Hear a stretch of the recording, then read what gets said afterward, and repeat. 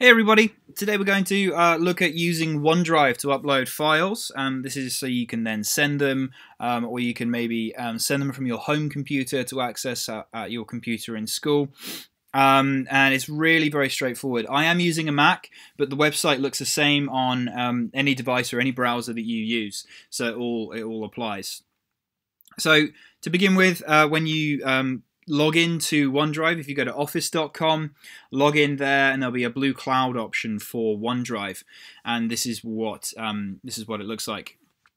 So you will see uh, logging in all your files that you access on your own computers at school, um, and you work on, and you can also um, kind of edit them and use online versions of um, Word and PowerPoint and all that. But today, what we're interested in is creating a new folder, uploading files to that folder, and then sharing that folder with another person. So along the top of the screen here, we've got um, our options to be able to do these different things. And on the left-hand side, we have new with a plus and a drop down. If we tap that, it'll give us a list of things that we can do. For today's demonstration, we're going to create a new folder and then it'll ask you to create a name for your folder. So I'm going to give this a name. We're going to call it bag shoot um, demo.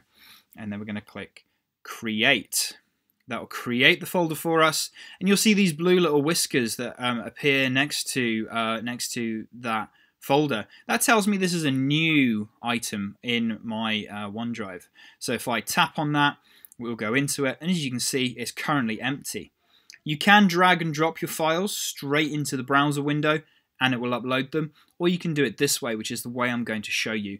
So if, at the top here where we have an upload option if we tap that we can then select files. Folders isn't always available to upload. Um, it's only certain types of browser that can do that.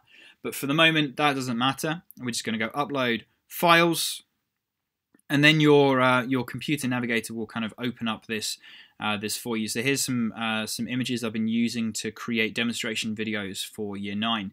So if I kind of um, tap into here, and then you'll see all these uh, files and images that I've been using for my demo. Um, if I then was to select all of those, so to just really quickly and easily select all of these, I'm pressing Command A on a Mac keyboard or Control A on a Windows keyboard, and it's going to select everything that's in that folder. And then I'm going to click Open, and it will start to upload those items for me. So as we see here on the right hand side, it will upload those.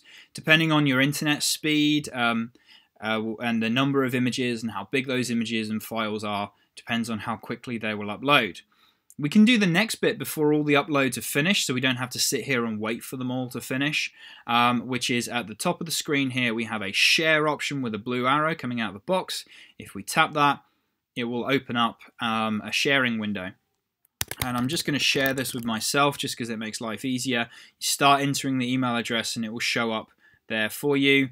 And then we tap or click send. It's as simple as that, and that will share the link to the folder with whoever you are wanting to have access to that, and then uh, you can kind of that that person can then work with it. So how this is useful in photography at the moment is uh, where we're presently closed and not in school. Um, you may need to have contact sheets to include in your coursework.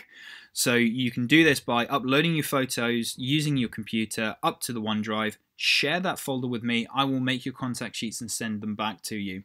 If you can make your contact sheets yourselves, if you've got Photoshop yourselves at home, then um, that's fine. Please do carry on with that. But if you do need me to make them for you at this time, that's absolutely fine.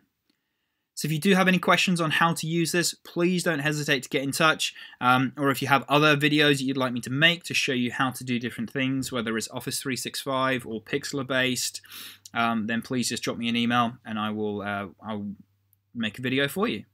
Thanks.